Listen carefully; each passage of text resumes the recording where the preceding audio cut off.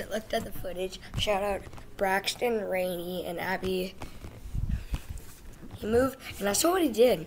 It's a little sus. Go check out that video. Also, go check out. I almost got. I called the cop, and I almost got arrested. I'm a basketball hoop. I know y'all want to see me play basketball. I'm gonna do it.